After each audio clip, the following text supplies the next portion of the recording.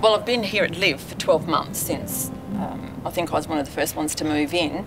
The fact it's a port is great, and the fact that the ocean meets the river as well. In just under five minutes, I can be down at the river.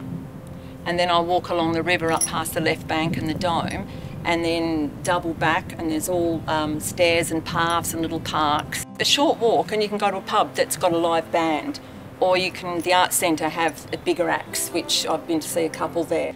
So you can kind of, you can walk around Fremantle and see people doing things and feel connected. I can live here and be alone, but not feel isolated. The design of the buildings is such that there is a lot of privacy.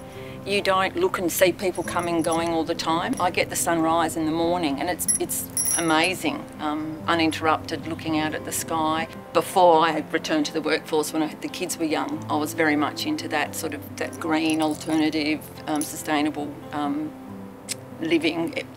So I think I've come back to that uh, now and, and Fremantle's always had that reputation. I use my car at least half as much as I used to. I think it's excellent. I can't wait for it to um, liven up even more. I think that's only going to be an advantage.